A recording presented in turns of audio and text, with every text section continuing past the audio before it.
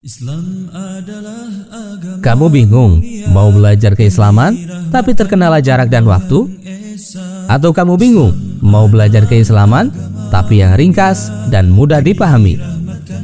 Nah, kami tahu solusinya. Ayo ikuti program Kuliah Studi Islam atau KSI Online bersertifikat. Program ini telah diikuti oleh 100.000 lebih peserta dari seluruh Indonesia loh. Dan program ini 100% gratis. Kenapa sih kamu harus bergabung di program Kuliah Studi Islam atau KSI Online ini? Pertama, kedua, ketiga,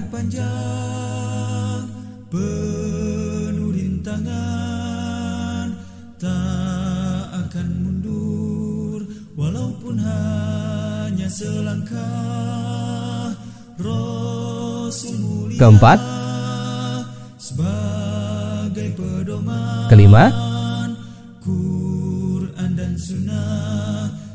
keenam, jalan hidup kami Islam adalah agama mulia. Dan seluruh program ini gratis.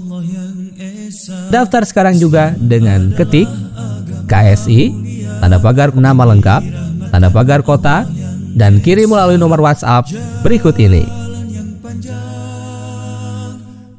Ayo tunggu apa lagi? Daftar segera di program kuliah studi Islam atau KSI online. Masya Allah, menarik bukan? Bagi kamu yang ingin belajar keislaman tapi terkendala jarak dan waktu, dan yang ingin belajar keislaman tapi yang ringkas dan mudah dipahami, Kuliah Studi Islam atau KSI Online solusinya.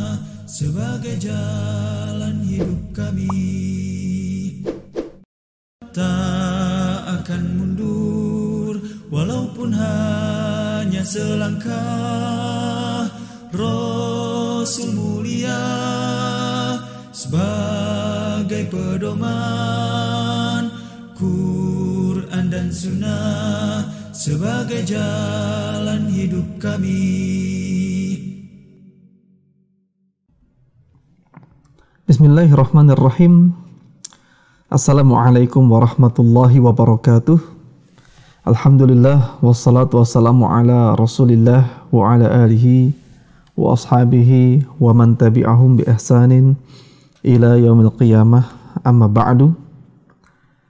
Sahabat-sahabat LC Para pemirsa Yang menonton video ini Saya ucapkan Ahlan wa sahlan.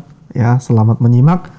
Selama beberapa menit ke depan kita akan mengkaji salah satu tema pembahasan yang sangat penting yang jarang dibahas jarang diingat yaitu apa yang akan dialami oleh manusia setelah kematiannya.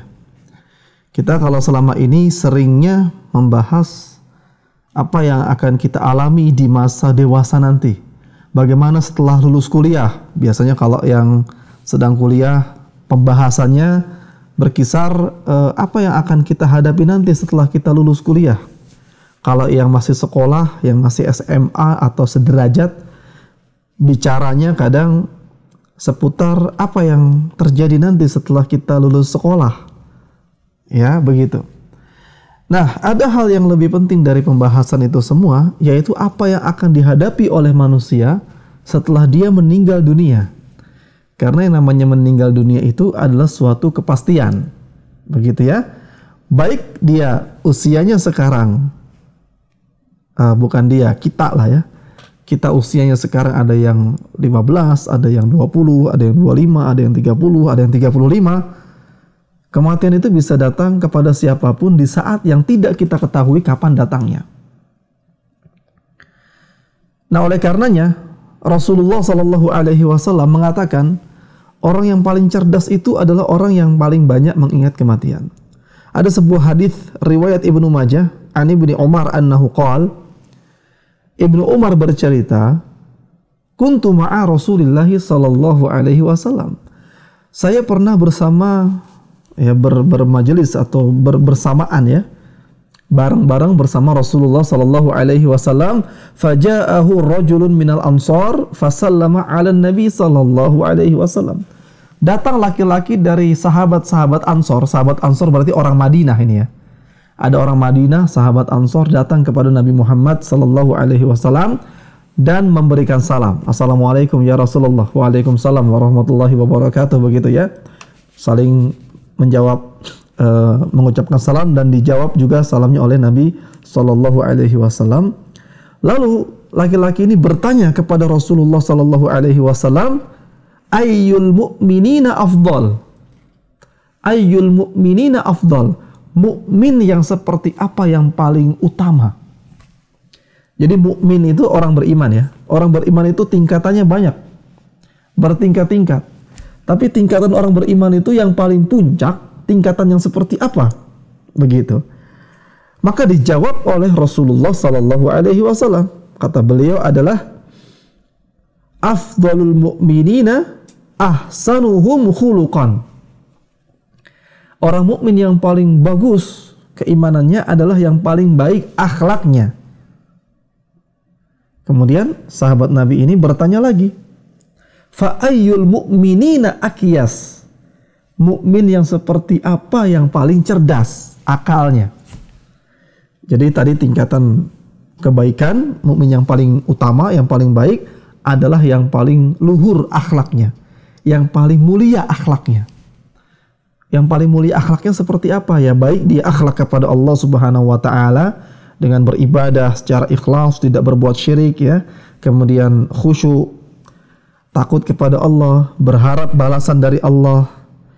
Ya, selalu merasa diawasi oleh Allah Subhanahu wa taala. Nah, ini akhlak kepada Allah, akhlak kepada Nabi, mentaati ajaran Nabi, begitu ya, membela Nabi, akhlak kepada Al-Qur'an, dia senantiasa belajar Al-Qur'an, akhlak kepada orang tua, dia senantiasa baik kepada orang tua, tidak pernah melawan, tidak pernah berkata ah, tidak pernah membantah, ya, nurut kepada orang tua, tidak pernah ketus bicaranya, selalu nadanya lebih rendah daripada nada bicara orang tua.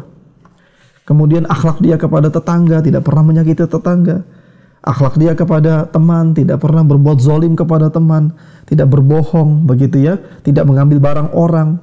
Ini akhlak.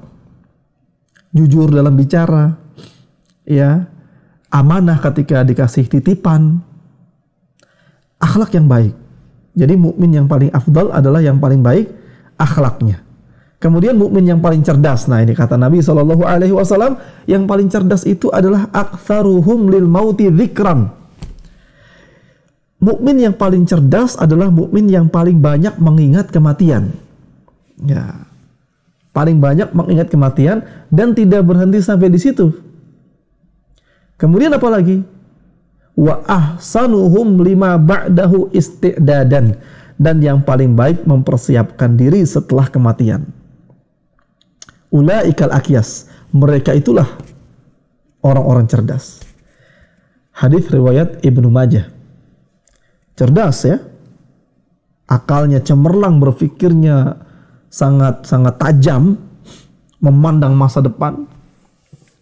Jadi dia berpikir bukan hanya apa yang akan dipersiapkan untuk hari esok atau hari di saat dewasa atau ketika sudah menikah, apa yang harus dipersiapkan ketika sudah punya anak, apa yang harus dipersiapkan ketika anak sudah sekolah, apa yang harus disiapkan ketika kita sudah tua, tidak sampai di situ bicara apa berpikirnya orang mukmin itu, tapi orang mukmin itu berpikirnya adalah apa yang harus dipersiapkan setelah kematian. Jadi mukmin yang paling cerdas itu mukmin yang paling banyak mengingat kematian dan paling baik persiapannya menjelang kematian untuk menghadapi kematian. Jadi cuma sekedar ingat mati doang itu kurang kurang sempurna. Ya, kalau sekedar ingat mati tapi tidak mempersiapkan diri buat apa? Yang paling bagus adalah banyak mengingat kematian dan juga mempersiapkan diri untuk menghadapi kematian tersebut. Nah, ini hadis menunjukkan bahwasannya para sahabat Nabi Shallallahu Alaihi Wasallam adalah orang-orang yang sangat semangat. Mereka perhatian terhadap Islam sangat besar sekali. Begitu ya. Mereka nggak mau jadi mukmin yang biasa-biasa saja. Makanya bertanya pertanyaannya itu sangat visioner. Pertanyaan yang sangat ambisius, tapi ambisiusnya dalam hal positif ya. Mukmin yang paling bagus itu yang seperti apa? Ya, mukmin banyak, tapi saya mau jadi mukmin yang paling bagus. Maka kata Nabi, mukmin yang paling bagus, yang paling afdol, yang paling baik akhlaknya. Dijawab begitu. Kemudian mukmin yang paling cerdas. Ya, mukmin yang paling bagus sudah. Saya saya pengen jadi mukmin yang paling cerdas. Orang beriman yang paling cerdas itu yang paling banyak mengingat kematian dan paling bagus mempersiapkan diri untuk menghadapi kematian. Apa persiapan menghadapi kematian? Berakidah dengan benar, beriman dengan benar, beramal saleh dengan benar, menjauhi maksiat. Nah, kalau di zaman sekarang ini kita harus menjauhi yang namanya syubhat dan syahwat ya. Selain kita beramal saleh, kita salat, puasa, tapi kita juga harus berjihad untuk memerangi syubhat dan syahwat. Syubhat ini kerancuan berfikir, kerancuan dalam keimanan. Yang benar jadi salah, yang salah jadi benar gitu ya. Itu syubhat. Nah, syubhat ini diperangi bisa dikikis dengan terus belajar. Jadi kita nggak ragu-ragu lagi dalam beragama. Kemudian juga syahwat. Nah syahwat ini memeranginya dengan cara terus pada Allah Subhanahu wa taala minta diberikan taufik dan petunjuknya agar kita tidak terjatuh ke dalam syahwat ya lalu syahwat juga harus diredam syahwat itu harus diredam syahwat terhadap perkara haram harus dilawan, jangan dituruti. Kalau sudah dituruti sekali, nanti biasanya akan keingat lagi dan akan terjatuh lagi dalam uh, keterpurukan tersebut.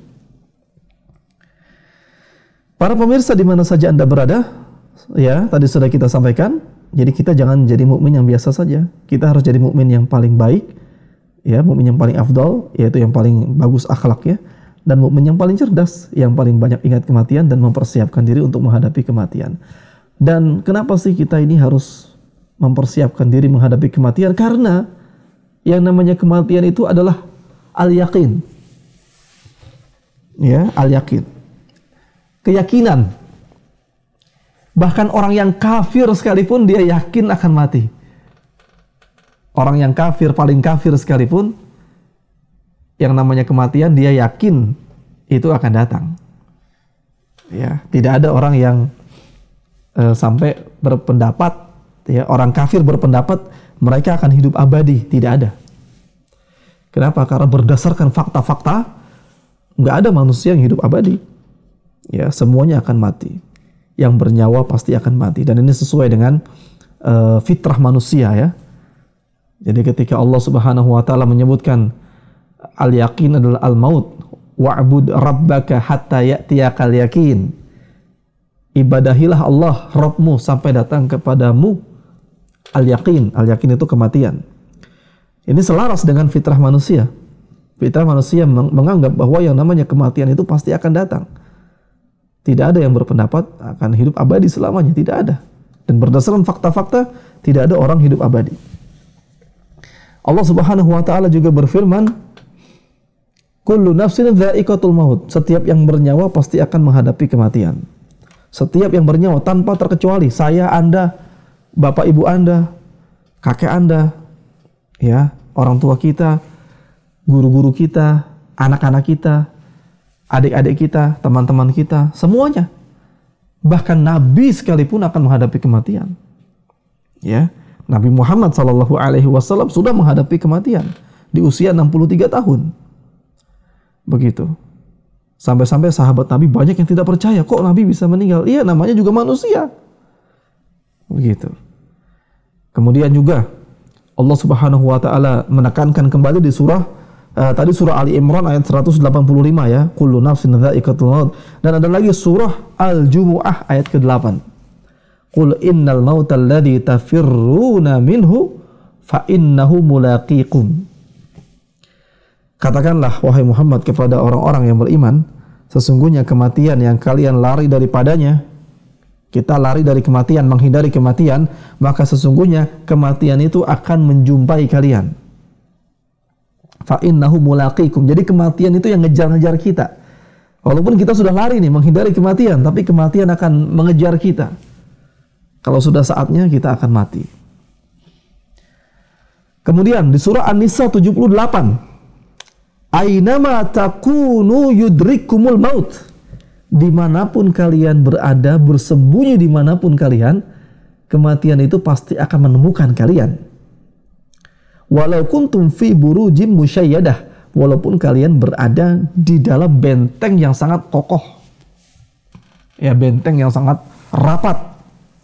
Kematian akan datang menjumpai kalian. Ini dalil-dalil yang sangat qat'i, muhkam, ya bukan mutasyabihat, tapi muhkamat.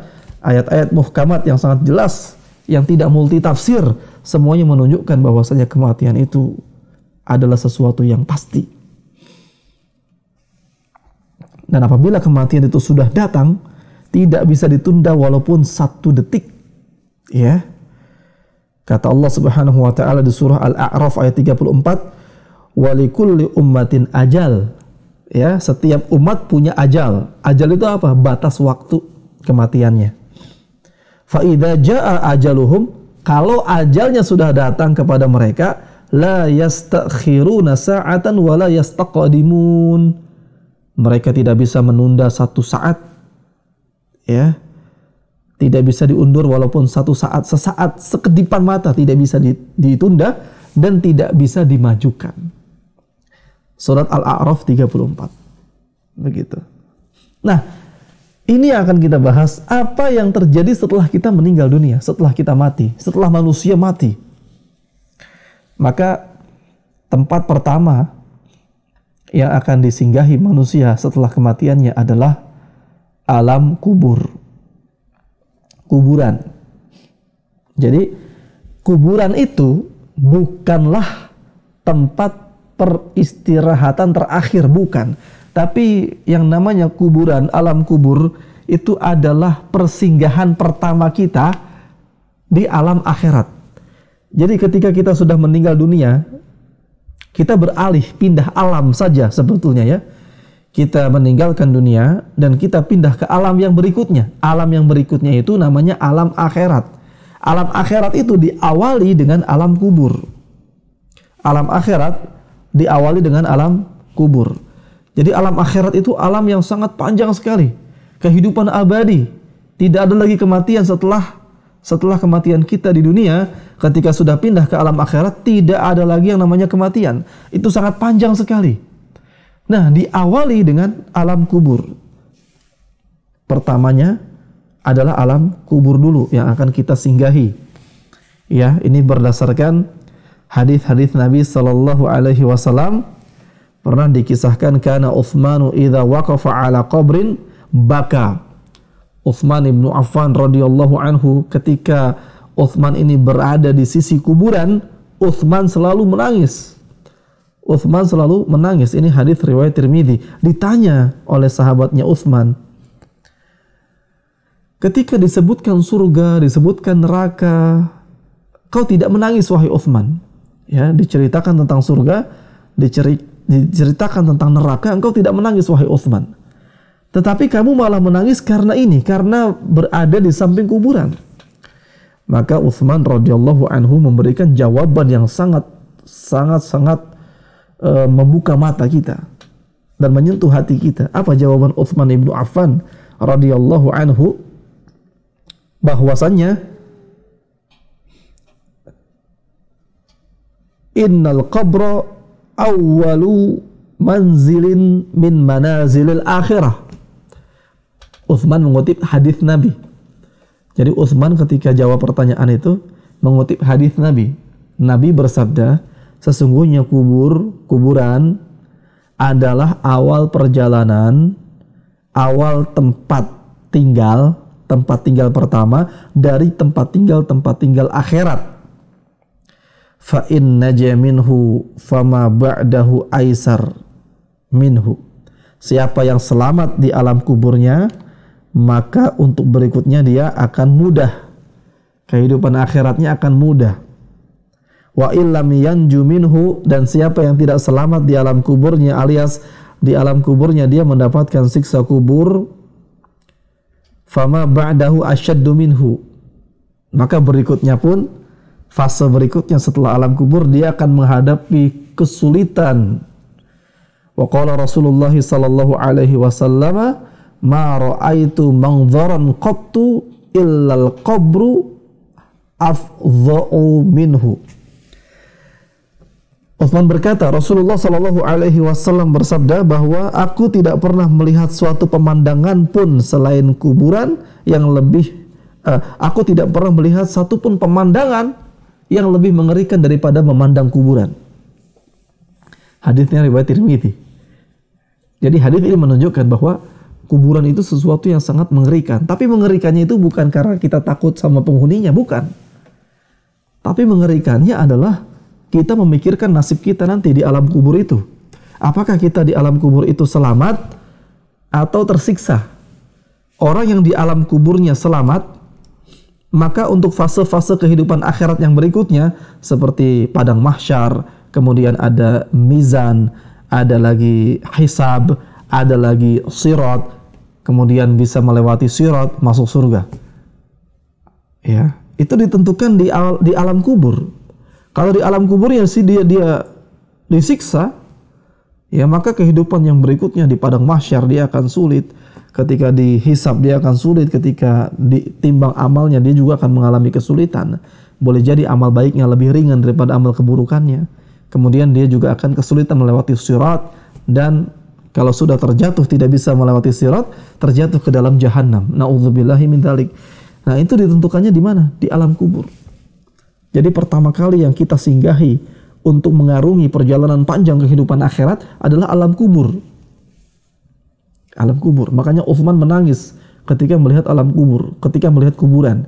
Itu Uthman membayangkan bahwa saya nanti akan masuk ke dalam kuburan dan saya tidak tahu nasib saya bagaimana. Ya. Nah, kita semua berharap kita mendapatkan nikmat di alam kubur. Amin.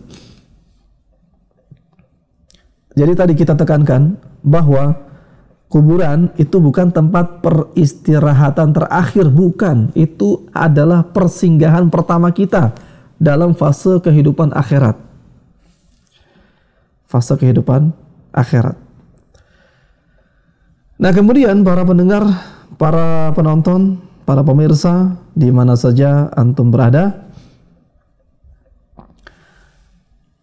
setelah kita memasuki alam kubur, di alam kubur itu ada yang namanya tiga hal, ya. Ada yang namanya fitnah kubur, ada yang namanya uh, nikmat kubur, ada yang namanya siksa kubur, ya. Nikmat kubur, uh, fitnah kubur, nikmat kubur dan siksa kubur. dikisahkan dalam sebuah hadis. Ya, saya akan bacakan hadisnya yang sangat panjang sekali, tapi saya akan ambil beberapa bagian saja. Nabi Shallallahu Alaihi Wasallam pernah ketika itu mengiringi jenazah ke kuburan. Beliau mengiringi jenazah ke kuburan. Kemudian setelah jenazahnya dikubur, maka Rasulullah Shallallahu Alaihi Wasallam berkata kepada orang-orang yang ada di pekuburan itu, ya apa kata beliau?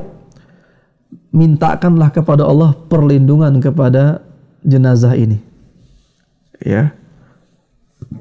Mintakanlah kepada Allah perlindungan kepada jenazah ini. Kenapa?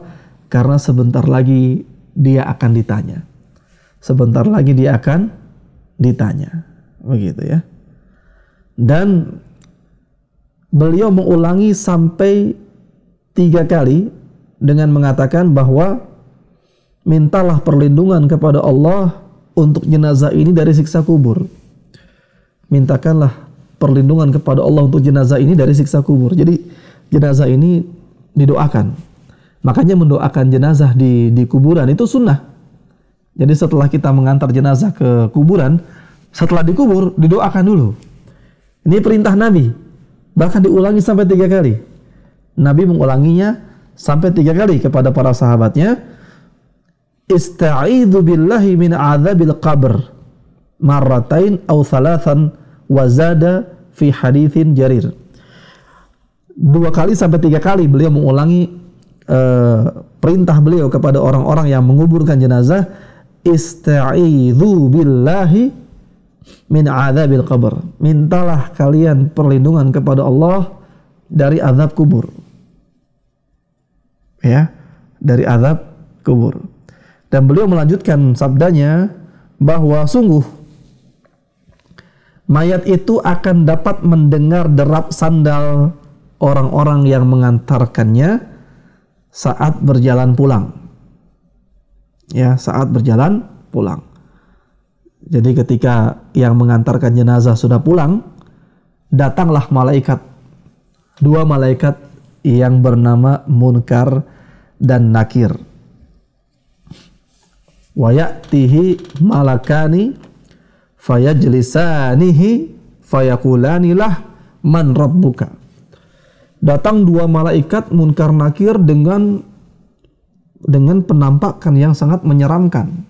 Jadi disifati malaikat Munkar Nakir ini bukan malaikat yang berwajah lembut ya, tetapi malaikatnya itu dengan wajah yang menyeramkan. Wajahnya menyeramkan, ya. Kemudian bertanya dengan suara yang sangat kencang sekali dan mengagetkan, "Man rabbuka?" Siapa Robmu? Siapa Robmu? Fayaqulu Rabbi Allah. Adapun orang-orang yang bisa menjawab, dia akan mengatakan Rabbi Allah. Tuhan saya adalah Allah Subhanahu wa taala. Fayaqulanilah ma dinuka. Pertanyaan yang kedua, apa agamamu? Jadi malaikat-malaikat ini bertanya lagi, apa agamamu? Fayaqulu dini al-Islam. Agama saya adalah Islam. Ya, sudah dua pertanyaan. Kemudian fayaqulani lahu ma hadzal rajulul. Siapa nama laki-laki yang diutus kepada kalian? Maksudnya siapa rasul yang diutus kepada kalian? Namanya siapa? Fayaqul huwa Rasulullah sallallahu alaihi wasallam. Ya, laki-laki itu adalah Rasulullah sallallahu alaihi wasallam, namanya Muhammad Rasulullah sallallahu alaihi wasallam. Begitu. Ini hadis riwayat Abu Dawud ya. Dan kemudian ada pertanyaan yang keempat ya. Ada pertanyaan keempat nih. Setelah berhasil menjawab tiga pertanyaan di alam kubur tadi, maka pertanyaan yang keempat itu adalah e, dari mana engkau tahu? Ya. Malaikat bertanya, "Kenapa engkau bisa bisa tahu?" Ya bisa tahu bisa menjawab pertanyaan-pertanyaan tadi. Apa jawaban uh, mayat ini? Yang dikubur ini menjawab uh, akra'u ya al qara'tu kitab Allah saya membaca kitab Allah ya saya membaca Al-Qur'an. Jadi si jenazah ini bisa mengetahui bisa menjawab pertanyaan-pertanyaan tiga tadi. Pertanyaan malaikat munkar nakir tiga pertanyaan itu bisa dijawab karena di dunianya membaca dan mempelajari Al-Quran. Jadi membaca dan mempelajari Al-Quran adalah sebab yang paling jitu agar kita itu bisa uh, menjawab tiga pertanyaan malaikat munkar nakir. Siapa Tuhanmu? Apa agamamu? Ya, siapa nabimu? Begitu. Ini orang yang beriman. Kemudian ketika dia bisa menjawab seluruh pertanyaan di alam kubur tadi, empat-empatnya bisa dijawab, empat pertanyaan bisa dijawab, maka datanglah seruan, ya, ada suara yang berbunyi, suara dari langit uh, berkata bahwa benarlah apa yang dikatakan oleh hambaku ya benarlah apa yang dikatakan oleh hambaku. Jadi jawabannya benar semua ini. Empat pertanyaan benar semua. Ketika jawabannya benar semua, maka diperintahkan kepada para malaikat, hamparkanlah permadani untuknya dari surga. Ya. Bukakanlah baginya pintu-pintu surga dan berikan kepadanya pakaian surga. Kemudian didatangkan kepadanya wewangian-wewangian surga Kemudian kuburannya diluaskan sejauh mata memandang. Kuburan diluaskan sejauh mata memandang.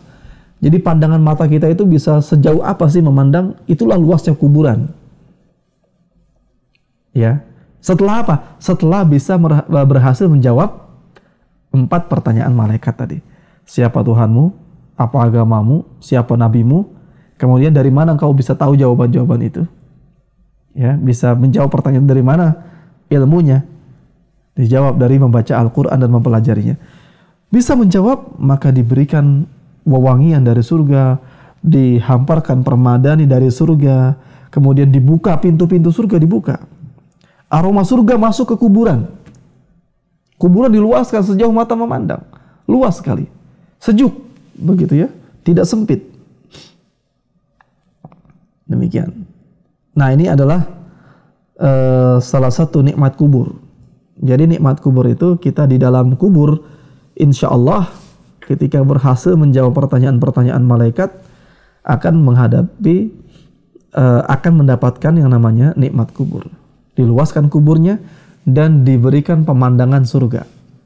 Jadi belum masuk surga itu, baru di alam barzakh, alam kubur, tapi sudah diberikan pemandangan-pemandangan surga, keindahan-keindahan surga.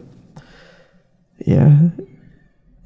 Nah, sebaliknya, orang-orang yang tidak bisa menjawab pertanyaan di alam kubur ketika ditanya man rabbuka? Siapa rohmu ha? Ha? La adri. Dia bengong nggak bisa jawab. Wa madinuka apa agamamu? Dia juga mengatakan ha? Ha? La adri. Saya nggak tahu. Kemudian ditanya lagi ma hadzal rajulu bu'itsa fikum siapa laki-laki ini yang diutus kepadamu Laki-laki ini siapa namanya? Siapa dia? La adri. Saya nggak tahu. Ya. Tiga pertanyaan tidak ada satupun yang bisa dijawab. Ya, tiga pertanyaan tidak ada satupun yang bisa dijawab. Maka dia akan mendapatkan siksa kubur. Di antara siksa kuburnya adalah dia akan dipukul kepalanya dengan palu dari besi yang sangat besar. Kemudian dia menjerit. Ya. Kenapa? Karena kata Rasulullah Sallallahu Alaihi Wasallam, seandainya palu itu dipukulkan kepada gunung, maka gunung akan hancur jadi debu. Gunung akan hancur jadi debu kalau dipukul pakai palu itu. Nah, palu itu dipakai untuk memukul orang itu yang tidak bisa menjawab pertanyaan munkar nakir. Dan dia pun berteriak. Dan suaranya, suara pukulannya itu terdengar oleh semua makhluk dari ujung timur sampai ujung barat kecuali jin dan manusia. Hingga dia pun menjadi debu. Ya. Hadis riwayat Abu Dawud. Ya demikian. Maka ketika kita sudah memahami hadis-hadis ini kisah-kisah yang sangat uh, mengerikan ini jelaslah bahwa untuk bisa menjawab pertanyaan di alam kubur, maka kita wajib mempelajari agama Islam dengan benar dari Al-Quran dan memahaminya dengan baik. Dan bukan hanya itu ya. Bukan hanya itu, siksa kubur bukan hanya dipukul dengan palu dari besi. Ya, tadi hadisnya riwayat mutafakun alaih. Yudrabu bimit raqin min hadid dipukul dengan palu besi sampai dia berteriak keras dan suaranya bisa didengar oleh seluruh makhluk dari timur dan barat. Hanya jin dan manusia yang tidak bisa mendengar siksa kubur itu. Kemudian yang kedua, setelah itu, setelah dipukul dengan palu besi, maka dia pun akan mendapatkan pemandangan-pemandangan neraka yang diperlihatkan. Begitu. Jadi di dalam kubur itu ada pemandangan-pemandangan. Ya, Entah seperti apa bentuknya, apakah seperti jendela-jendela yang dibuka, yang mana pemandangannya itu pemandangan neraka. Itu ada di Al-Quran, surat Ghafir ayat 46, An-naru yu'raduna 'alaiha guduwan wa ashiyan. Neraka ditampakkan kepada mereka setiap pagi dan sore. Ya, sudah dipukul pakai palu, kemudian diperlihatkan kepadanya neraka setiap pagi dan sore. Kemudian yang ketiga, di antara siksa kubur itu adalah dibukakan pintu neraka untuknya sampai-sampai panasnya neraka itu masuk ke dalam kubur. Ada hadis riwayat Ibnu Majah dan riwayat Ahmad, "Waftahu lahu baban minan nar." Allah perintahkan kepada malaikat, bukakan baginya pintu neraka. Fayatihi min harriha wa sumumiha. Maka panas dan uap neraka itu masuk mengenai orang itu. Jadi orangnya baru di alam kubur tapi apa hawa panas neraka itu sudah masuk ke ke dalam kuburnya sehingga mengenai dia kepanasan. Kemudian yang keempat, di antara siksa kubur itu disempitkan kuburnya.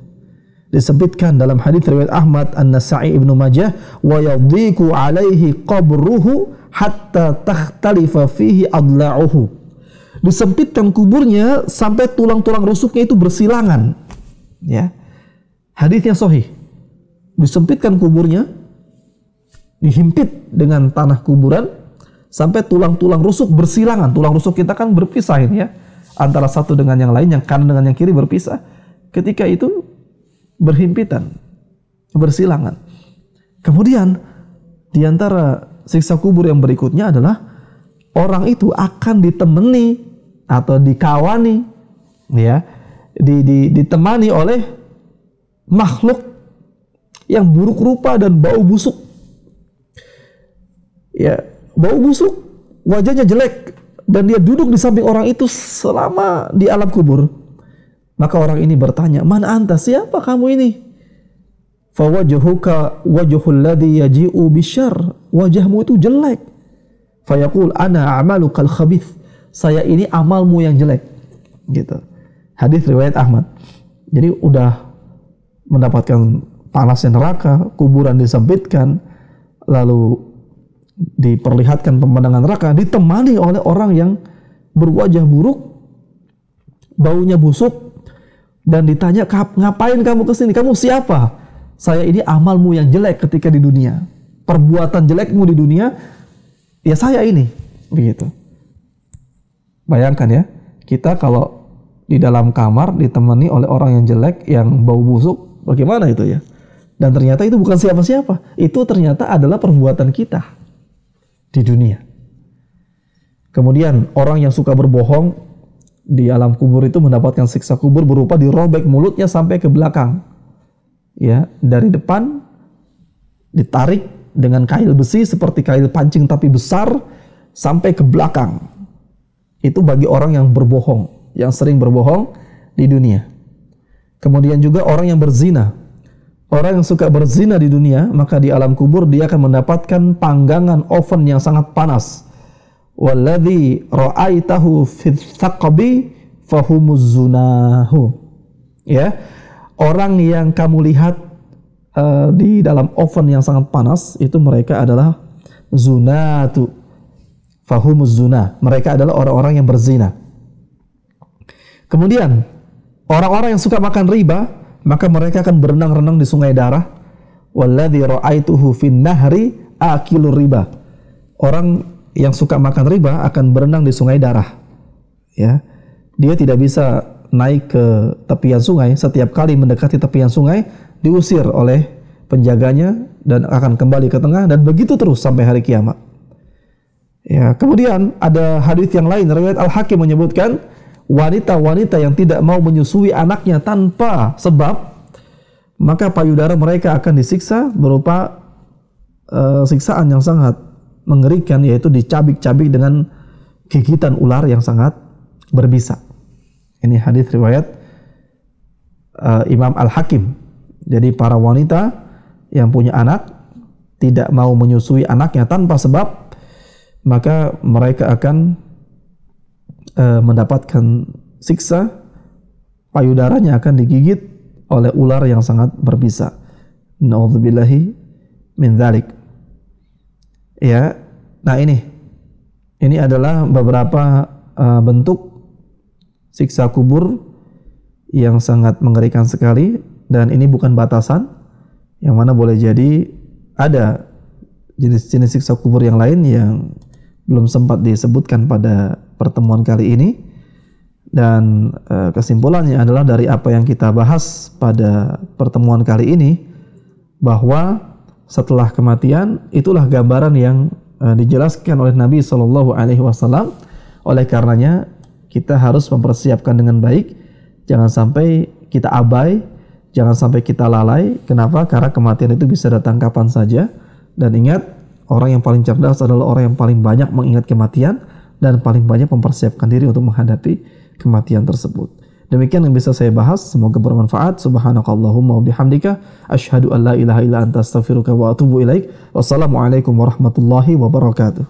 Tak akan mundur walaupun hanya selangkah